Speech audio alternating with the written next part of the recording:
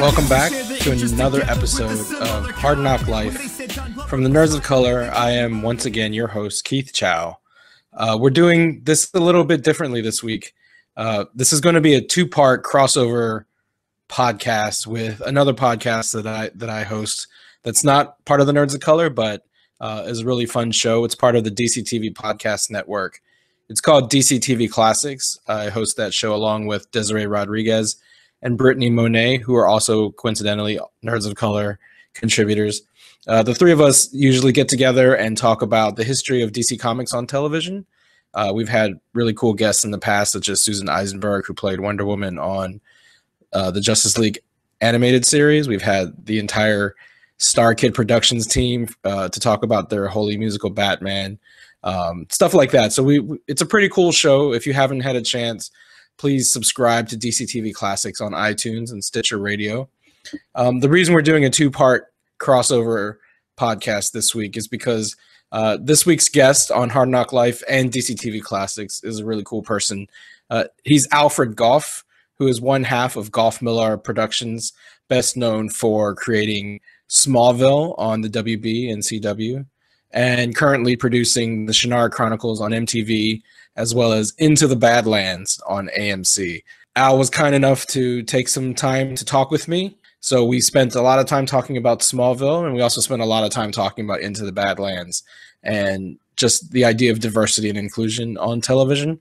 So how it's going to work is today on Hard Knock Life, you're going to listen to the first part of my conversation with Al, in which we touch on subjects including Asian American representation, uh, their history working with a lot of Hong Kong movie stars, um, including and breaking roles for Asian American actors.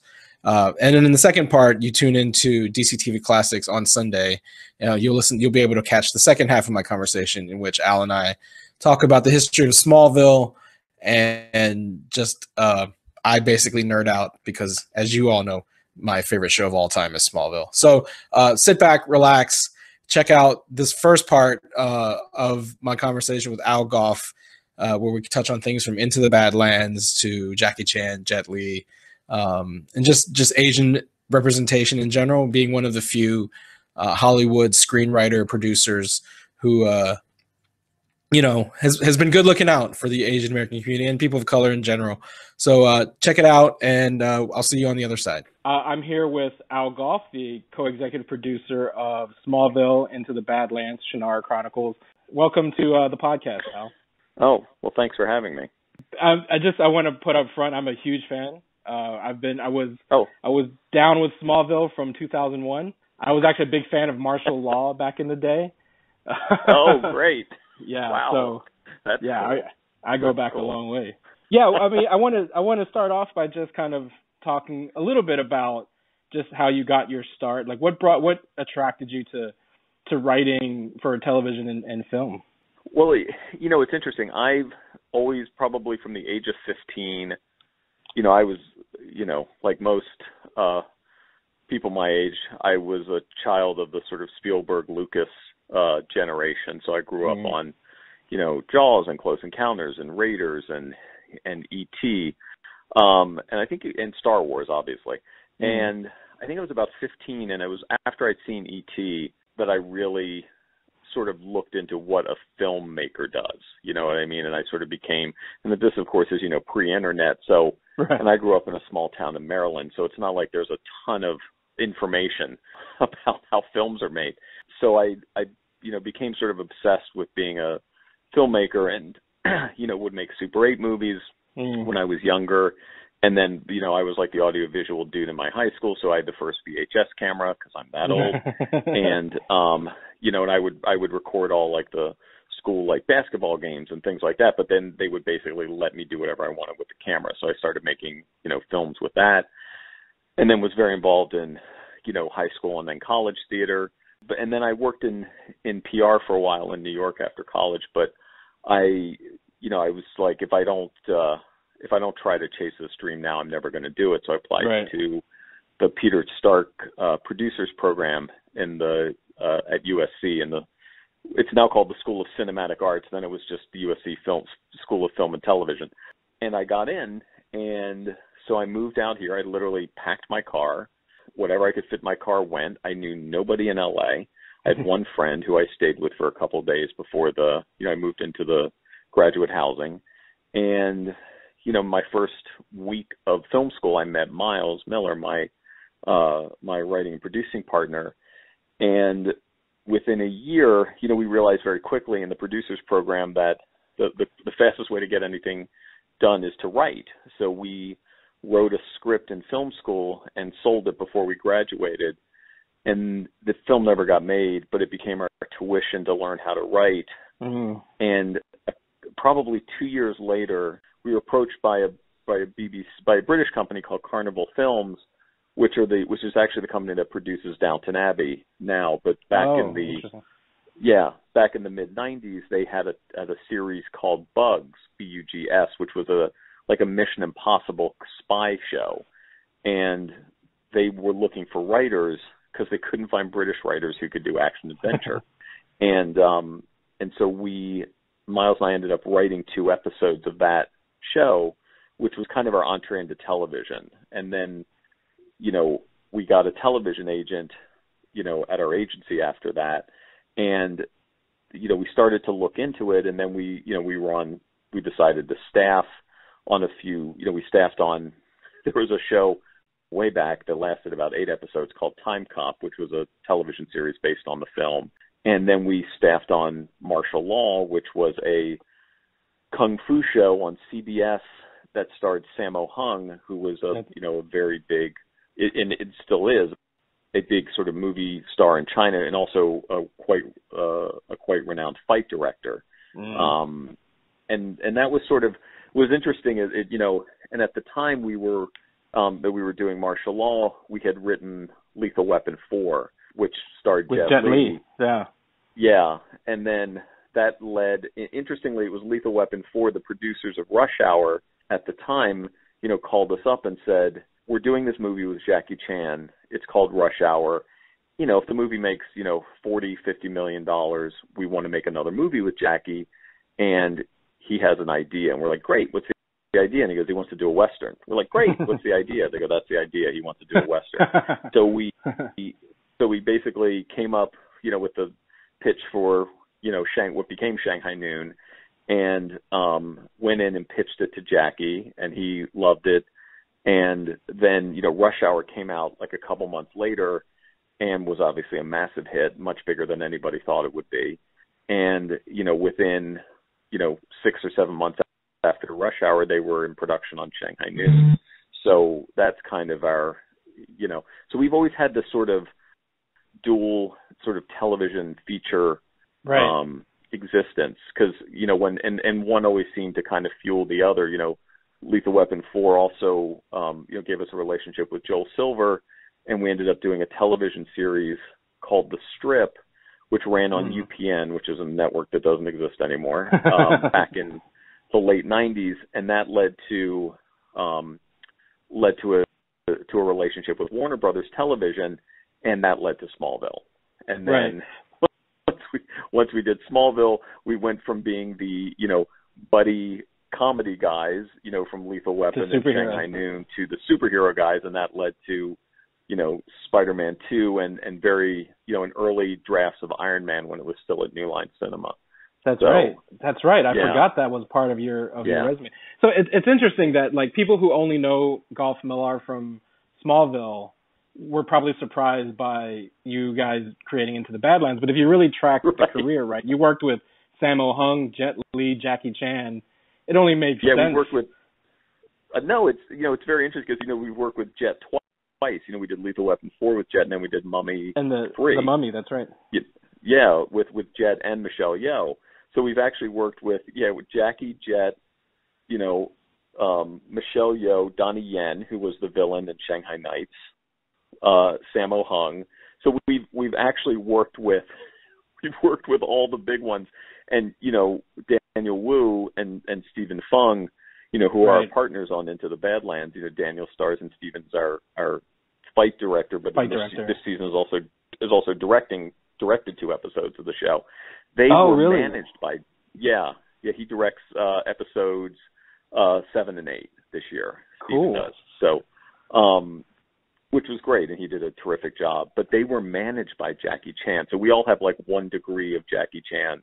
And what's and also what's interesting is Master Didi, who was our fight choreographer, Mhm. was Jet Li's stunt double and did did additional choreographer because he he started working under Wu Wu Ping, so he you know so he worked not only on Lethal Weapon four, but he also choreographed the Michelle Yeoh Jet Li fights for Mummy, and then he also worked on you know Crouching Tiger, Hidden Dragon, and The Matrix, and Kill Bill, and all sorts of you know so he's he's quite um you know so but we we all have kind of you know it's like one degree of separation between you know who who we who we know in in Hong Kong cinema. Right. Well, you know, I, I we should just go ahead and follow this thread though, since since you know I, I did want to touch on Into the Badlands and and everything Sure, around that. So we can always get we can al- we can always circle back to Smallville, but just taking this thread Yeah. further, you know, one of the things at the Nerds of Color that we talk about a lot, and I talk about in particular, is just Asian and Asian American representation in media, and and you know, if you again look at your CV, it's kind of like you're one of the few Hollywood producers that that have made a concerted effort to to not only you know highlight you know kung fu art, uh, and martial arts stars, but just you know Asians and Asian Americans in general. Because if you think, you know, you have other movies on your resume such as uh, Bullet in the Head, which which starred Sung Right. Kang, and you worked with Lucy Liu. Kang, Like yeah. you know, so you have you know was was it always kind of part of your uh like was it always intentional to try to spotlight more Asian and Asian American stars?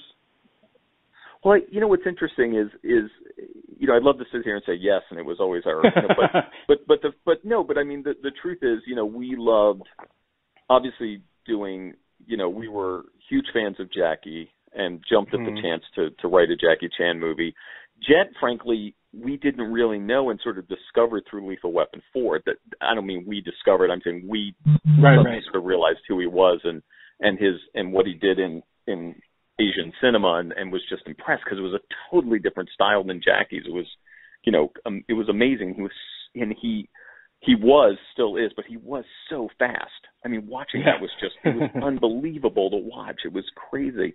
But um and I think for us it was, you know, and it's interesting because in Shanghai Noon we were actually given an award by um given an award by Mana Mhm. um, which is a and, I, and now I'm going to blank on on what the actual acronym yeah, is. Yeah, it's like the Media Asian American National Ac- ac- National na- Network or yes. something.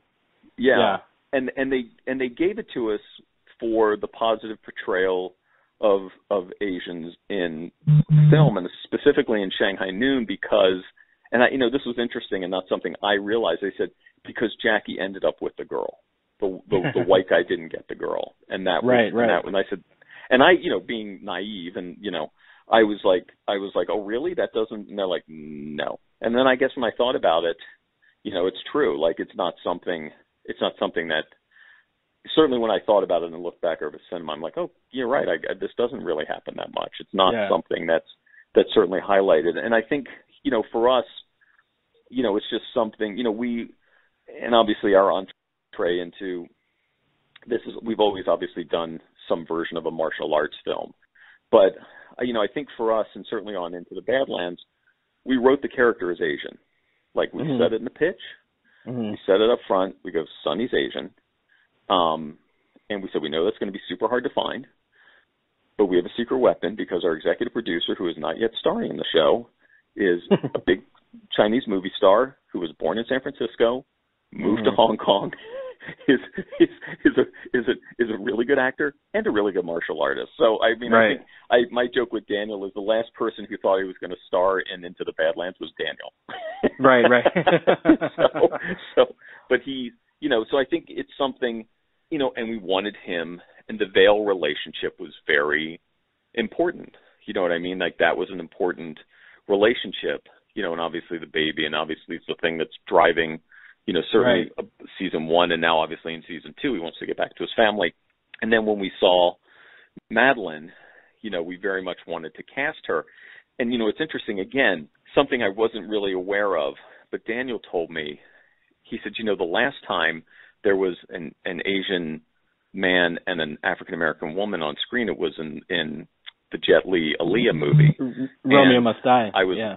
Romeo Must Die, and he said, you know, there was a big thing about the kiss, and then they end, and I and I actually remembered it because it's a movie Jet made after Lethal Four, and I so then Right. I kind of kind of remembered, and I said, well, you know, it's been 20 years or something. Like it's this is it's a different time, and Daniel's like, well, we'll- we'll see, and the fact that people really well i think he was just kind of like okay here we go and you know always always very positive but i think there and i hadn't i didn't really know that story neither miles nor i did but and then you know to see it actually celebrated i mean again and, and again i don't mean to sound pollyanna or to sound naive i'm like i guess that's a big deal in 2017 it doesn't it's not something for us you know we always try to be sort of colorblind in our casting like we wrote you know, we wrote Sunny as Asian, but everybody else could be anything. Obviously, Right. once we cast Quinn, you know, and this is the thing, you know, once you cast Quinn and we got Marton, and then we've got Orla, we was like, okay, well, the kid needs to be white. So there's certainly right. there's certainly white people in the show, but we also didn't want to give the impression that all the Barons were white.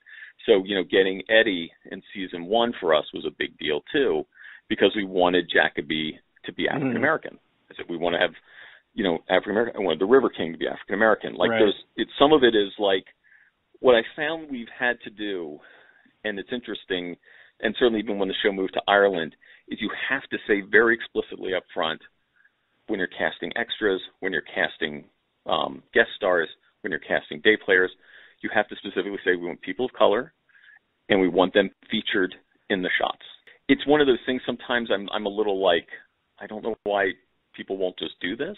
And by the way, I'm not I'm not casting I'm not casting aspersions on anyone, but I just think it's something you have to tell people this is how like we this show is set hundreds of years in the future.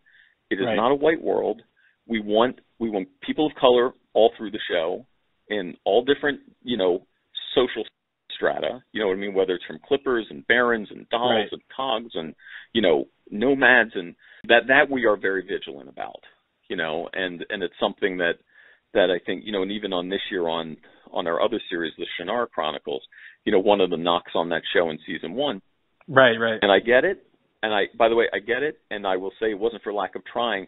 We didn't, we, you know, the only sort of minority or person of color on that show is Manu Bennett, who is, you know, who is Maori, Maori, who was, a, who was yeah. basically native, native New Zealander. And this year, you know, we we had four new roles.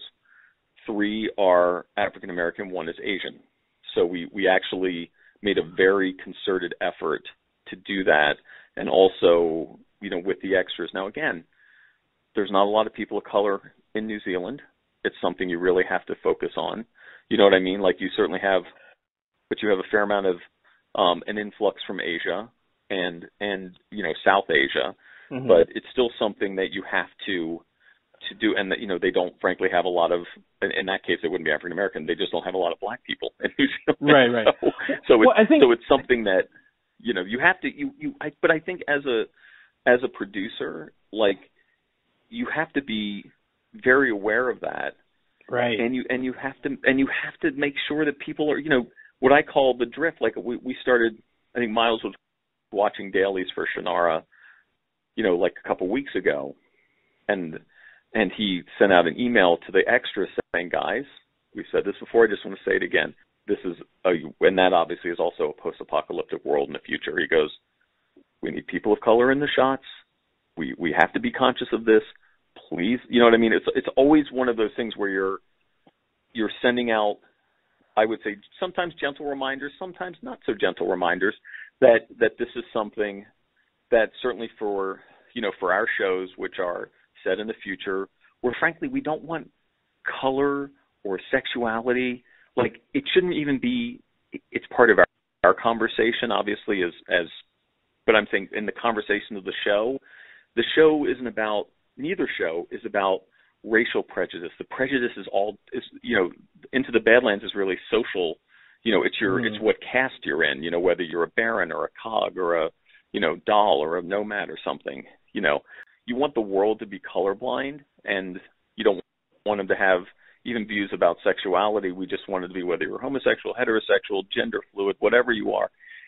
It's not part of the conversation in that world because it, people are so far past that That it's Right. not what the world, you know, the world of the Badlands is about power. It's about can you fight or can you not fight.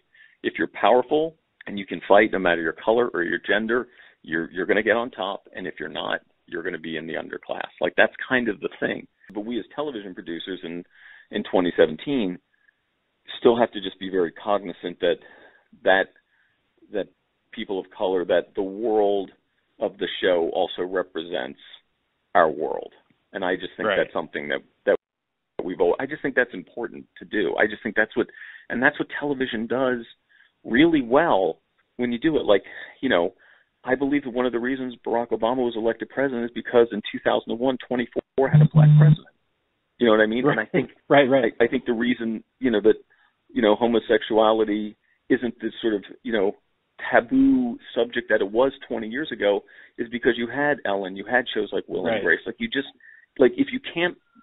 This is I mean I think this is what you know entertainment can do, which is it can actually, and not to sound preachy and whatnot, but you can influence how people think and how they see the world. And in a in a and I don't think it's insidious. I think just to say you live where you live, but this is this is how the world is now, and here's an introduction to it. And that's what you you know when you you think about the shows you watched that you were a kid that would that suddenly made you not look at the world the same way your parents did.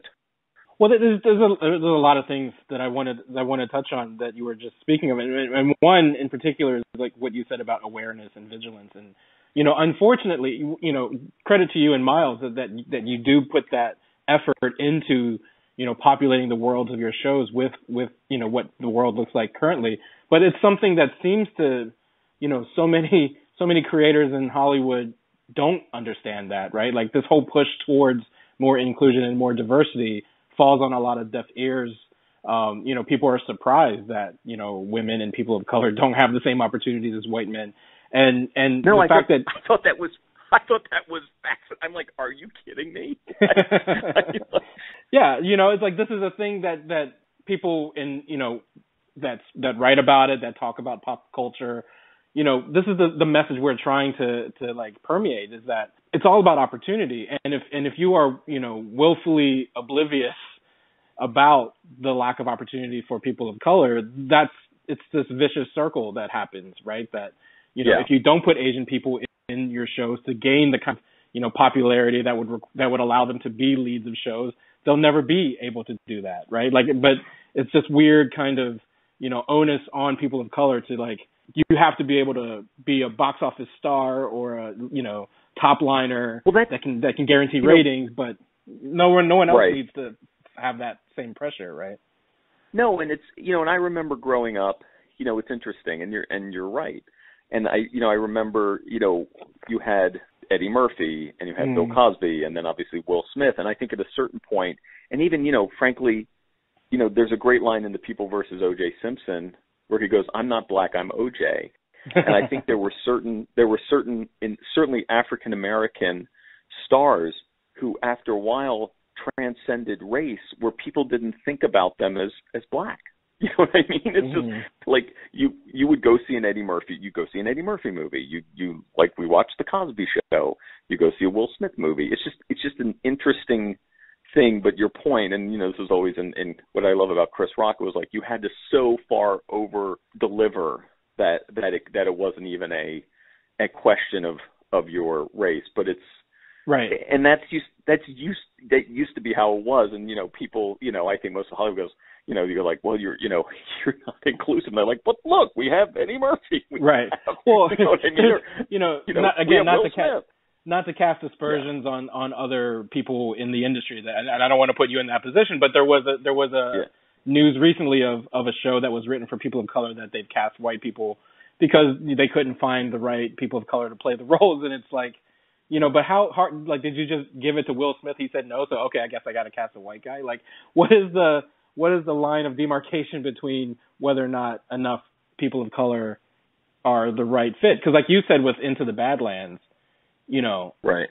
you were like, no, this, this has to be an Asian. I mean, an Asian American lead too, because that's that's another Yeah. thing that often gets conflated. Like the thing about Daniel is that people think, okay, he was a star in Hong Kong, but he's actually like he's an American guy, right? He he No, did the Bruce Daniel he did the Bruce Lee thing Yeah. where he had to like because he didn't have Yeah. opportunities here. He had to go to Hong Kong to to become a, well, a he- star. You know. I mean, what's interesting about Daniel is he went. He didn't go to Hong Kong to become a star. He went to Hong Kong to witness. He was filming like the handover, you know, in in '98, and then got, literally got discovered at a party. Right. I mean, Daniel has the most amazing. I would call it's the most amazing Hollywood story. It just happened in Hong Kong. right. and then- He became a star there, but he will tell you he's kind of he in some ways he's not Asian enough for the for for Yeah. for China, and he's and he's not American enough for America. I would think Daniel Right. lives in this.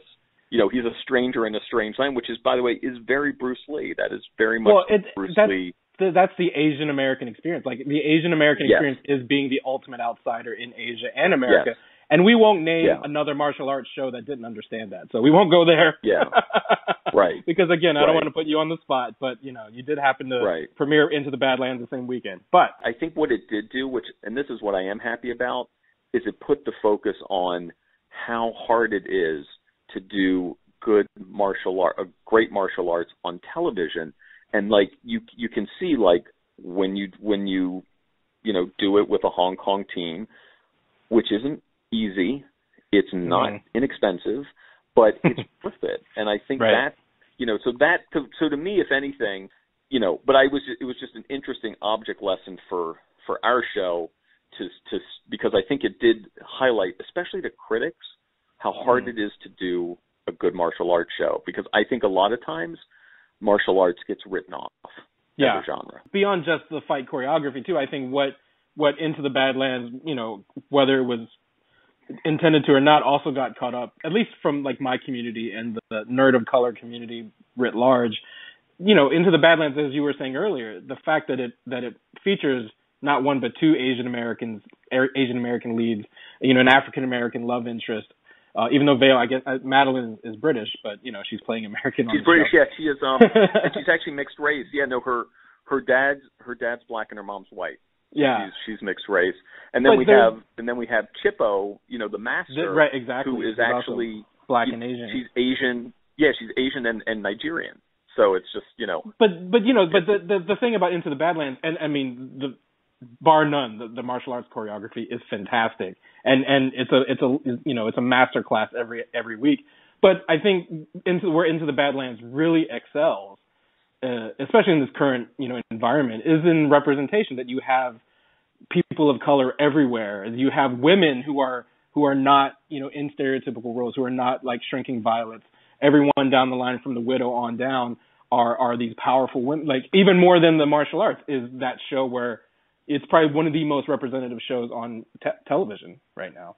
Oh well, thank you. I mean, I think the, the the the great thing about martial arts is it's actually the great equalizer because you don't have to be powerful, you don't have to be big, so so you can have women versus men, and it feels like a fair fight. Right. In the case of the widows, hardly a fair fight, but you understand.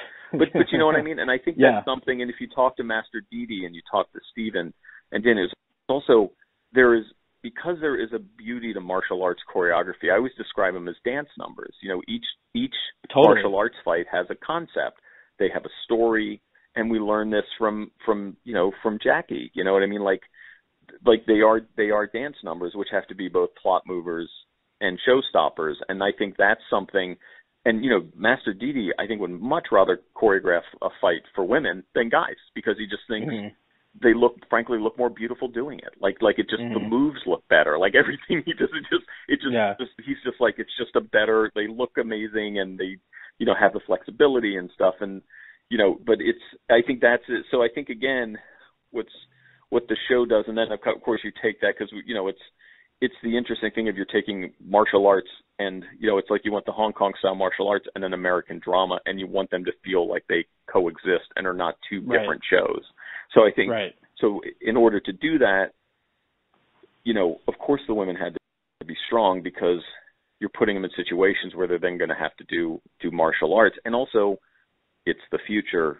And to us it was just how do we take all these paradigms and flip them on their and you know flip them on their head? You know what i mean? So it's not you know it's it's because yeah. So it's just you want it to feel different. You want it to feel and then sadly that it, that's what it takes to feel different you know, in 2017. But right, um, right. you know, but it's but it is something that you know that we're very conscious of, you know, and, and we really want to do and always, you know, look, I have two daughters. Miles has two daughters. Stacey Sher, who's who's our fellow executive producer, has always been, you know, who makes these, you know, she's Quentin Tarantino's producer and did Erin Brockovich and stuff like that. You know, mm. you know, we have Karen Richards, who's our co-EP in in in Ireland. He's in the show. Like, the show's got a lot of strong women involved as well. Well, you know, that reminds well. me too, and I, I want to, I, I do want to, I know, I do want to get to Smallville, but I, I, I that also Yeah. reminds me of like, you know, you had mentioned with Shannara how responsive you guys were to to the critique of not, not enough people of color, and you know, I think if there was one critique of Into the Badlands season one is that there were very few women of color, but this year you seem to have responded to that with Baron Chau, with the Master, yeah, uh, that, that Yeah. you know, like on on on blurred Twitter was everyone would love the uh the butterfly with the afro, right? Like so, I I- feel like that way, you, you guys are very amazing. responsive to. yeah. I she's got. I just I I love her. I love that look. Like again, it's like it goes to the aesthetic of the show. And when we when we saw her, we were like we're like we have got to have her. Like she needs to be in the shots. She needs because it's just so it's just so great. And by the way, and like I and I'm glad people brought it up because it's like you don't see that on TV. Right. You know what Yeah, I mean? yeah. Like it's just it's crazy. I mean, and this is, I guess, we'll we'll, we'll pin the we'll pin it on this uh, about Into the Badlands. What what has you? I know that you guys really took to the you know the hashtag Color Me Badlands, you which Black Girl Nerd started. You know, you guys helped us uh, trend NOC Badlands wh- when we were when we were binging the Netflix uh, uh, when we were binging on Netflix last weekend. Like, how how do you? What's your reaction to just the the Black nerd, the nerd of color community, kind of like coming out full force for the show? look, I think it's amazing, but but this is something, and this is something that Miles and I knew, and I think was a surprise to to the network. We said you you have to understand because you know we we obviously are fans of martial arts films and also just around like martial arts films have a huge African American following. Like Yes. they're huge in the African American community. And I we said to them, we said you we're gonna I I said I predict we will do very well if we do this properly with the African American community, with other with obviously with the Asian American community. Mm-hmm. But but it's something that I think and that's why, you know, we very much wanted, you know, the community represented. Like there you know, that there there there is a you know, there there's no it's not a surprise that Bruce Lee had who was it who was in um who was in Enter the Dragon. He was he was one of the three. There was like three three guys on the island. It was him, uh, Jim Yes. Kelly, and uh, uh, Yes. oh, I'm I'm I'm blanking on the on the white guy. Yes. No, no. Yeah, so I Jim think Kelly. it's something that yeah. yeah, that's who it is. But that's something you know we we sort of knew like as a as a genre that this was that this was a genre that African Americans have always embraced. So Mhm. so I think I think we were that we knew, and I think that to the network's great surprise and delight that we we do so well you know with African American viewers. Again, I think what the show does do since it's not set since it is a you know fantasy world you're set in the future post apocalyptic is you can you can just put you can have characters in the show and you know we don't talk about their race in the show they just are you know what i Right, mean? And i right. think that's the other thing too. Like you don't have to sit there and put a lot of import on it. You can actually just make your show populate the world you know so so that you see you know because i say the future isn't going to be white people. Like it's just not. Like you go look at any like you look at time magazine like like frankly they're going to everybody's going to look like aramis. You know aramis Right. is the ultimate you know he's like pakistani Right. and south asian and german and st- you know what i mean? But he's just like he's everything But- I mean, I, yeah, always, I yeah. always call Aramis kind of, you know, boy of the future because that's really the world as we as it as we keep evolving. But that's the thing, right? Even if it, because narratively it makes sense, but as you were saying earlier, like just the message that it sends in 2017 in into the world where people who like me who are starving for that kind of representation, it's it's a godsend. So I, I really appreciate you and Miles for you know having having the balls really to just say we're going to put this kind of show on TV and you know we're we're gonna we're gonna Yeah, fight well- hard because that's the thing, right? Because people there there needs to be more people like that that says we're gonna we're not gonna take the easy way and just say, well, we have you know we can't hire people of color just because, and and really Right. put it put an effort into it. Well, I think I, you know, and look, we we're on, you know, AMC has been great and completely mm-hmm. supportive and never, have always been very encouraging about that. We're totally cool. Like never blinked once at having an Asian American lead. Like it was never even a conversation. We said this is what we're doing. They said great. And then we when we started to cast because what they like to do as a network, which I think is great, is they're not actually interested in familiar faces. You know what I mean? Right. They want to find the new faces. They don't want, you know, a particular. And look, obviously we've got you know, Stephen Lang, who's amazing, Lance Henriksen, who's amazing. Like we've had people you clearly recognize in the show, Right. But they would, but they would much rather have the interesting actor or the interesting face that you're not going to be like, oh, look, it's this person, and pulls you out of the experience of watching the show. I mean, look at, right. you know, look, look at Walking Dead; they do it brilliantly. You know what I mean? It's just like none of those, none of those people were stars. I mean, I remember Andrew Lincoln from like Love Actually, kind of Exactly. but but right. but you know he was a you know he was a working British actor and right. you know but I think that's something that as a network they've always tried to do you know like they'd rather break new talent or find the the interesting you know actor who hasn't really had a chance to shine so I think it's you know I think that's something that you know we're very lucky we're not on a broadcast network where you where frankly you you do sometimes sit in those rooms and they're like oh okay if we can't get one of these 10 people as the lead, we're going to roll this pilot or we're not going to do it or we need it to do, you know. So Yeah. it, it's, I mean, I think that's, you know, that's the difference, you know, a lot of times. I, yeah, I read something online and I frankly didn't look at it. There were two, was it two pilots recently, but that were, they were written as, as, I don't know if it was as African American or Asian American. No, that, that's actually. I think that's right. That's this. That's what I was referencing earlier. It was like this. Oh. I think it was on CBS or NBC or something that they were like the lead character is named Malik in the pilot in the script at least, Right. and and they ended up casting a white guy and a white woman for for Rose. I think they're supposed to be African American and Latina, and I guess now they got to go back and rewrite it to fit the white people. But yeah, it's this it's this notion that you know how hard did- like I I, I know I don't know what the actual excuse is, but like how hard did you really try to you know to find and that's that's the kind of like that's the that's the glass ceiling that I think people in Hollywood have a hard time understanding who, who think Hollywood Right. is meritoc a meritocracy when it when it clearly isn't because there are there's a lot of talent. Viola Davis said it right like there's so much talent that all they need is the opportunity and if you're denying them the opportunity Yeah. they'll never be able to succeed.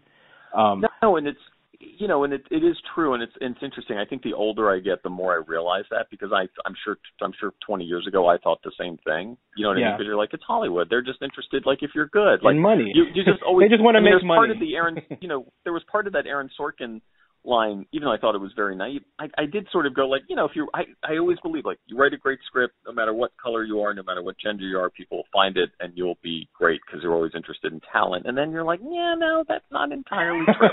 that's easy for me to say. Then you go like, ah, that's easy for me to say. Guess what? As a white dude, so it's not it's not the case. It's something you have to make a concerted effort about. You're always looking for the for the best writers. And look, don't get me wrong, we've got a lot of white people writing on our show, but we definitely try to, you know, we try to we we really you you want all the voices in the room. That's the other thing too. And I think this is something that you know as we've gotten, you know, I won't say older, I'll say more seasoned, is that you want a room that has a lot of opinions and a lot of different points of view because Yeah. that's the only way your show is going to grow. And obviously, look, you need the people who can write the scripts well, who who have the who have the experience, but you need but you do need points of view that aren't your own, or you know what I mean, or, or from a different realm. And you and you just have to, you know, a writer's room is something you have to cast in a way. You know what I mean? Like Yeah, you have yeah, to go. I need this, and I you know I need this, or I don't have this, or I wish we had more of X or Y or something. So that's something that you're always that you're always looking to do to do as well. But you know, I just I, I do find that it's something that as as creators and as producers and as writers, it's like you just got to be vigilant about all of this stuff in a, in a way that I was probably very naive about and didn't really think about in my younger days. And you know, but I guess it's just you know I have kids now and I see the world they're growing up in and I see their friends and they're all sort of it's all kind of colorblind, which is great. But even then, you got you can't just you know it's not something you can just take for granted. You know, Right. and, and you know you have to you have to. And by the way, I'm not saying we're the best at it. I think like we can always you can always be better. There's Mhm. always spots where I'm like, oh, we should do that. Like on like literally on Shannara, I'm like, when the criticism came out, I'm like, I was totally expecting it. Mhm. I totally get it. Our, our our first thing we were trying to do is we wanted to cast Allanon as African American or black. And look, I'll be honest with you, we saw a ton of people for it who just frankly didn't fit the bill. You know what I mean? Right. And I'm not saying and, and that's who we saw who was available and also we had a situation where it was like and they had to go to New Zealand. And a lot of people didn't want to go to New Zealand. Right, right. So, right. I mean, know, there are there's- there are a lot of- extenuating circumstances sometimes. there are extenuating circumstances that are that are always there and we cast Manu who's amazing who I love who's great in the show but I remember when the show came out I said I know what brush we're going to get tarred with and I Yeah.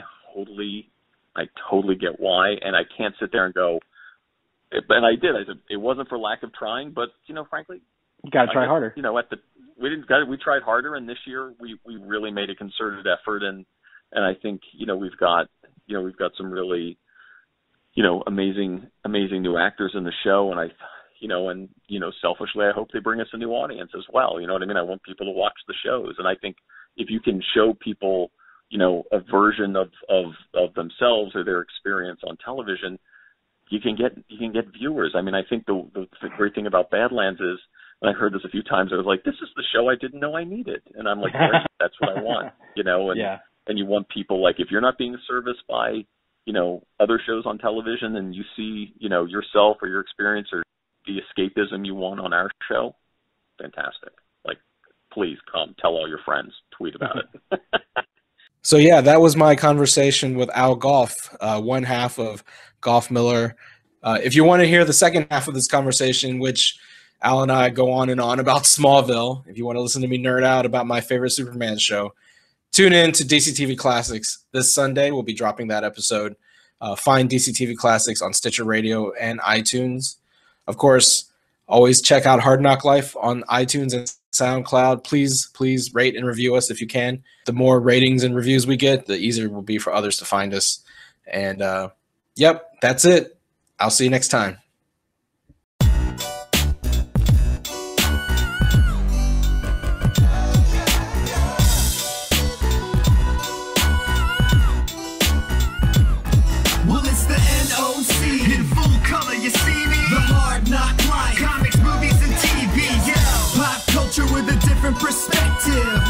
Your screen, hit play, so check this. This is the hard knock life, but not the chica kind. More like the people in the world seeking perspectives with a different line. The kids who share their interests together with a similar kind. When they said Don Glover for Spider-Man, they didn't mind. The activists, directors, comments, and the lectures. Fanboys, professional artists, and professors. Maybe a nerd who's just like you, talking about the things that you like too. So I invite you to the NOC in full color. You see